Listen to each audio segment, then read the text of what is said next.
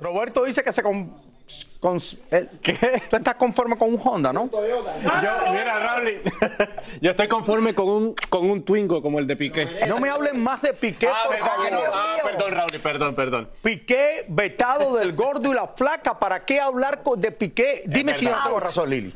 Tienes razón. ¿Para qué vamos a hablar de Piqué? Pero mientras Mira, más lo ¿sabes? diga, más los productores lo ponen. Los Cállate la productores boca. Eso es aquí para la molestarte, la Raúl. gente. Vamos a hablar de Piqué, vamos a hablar de Piqué. Ese es el productor nuestro, Manny. Que se la pasándole like en sus fotos.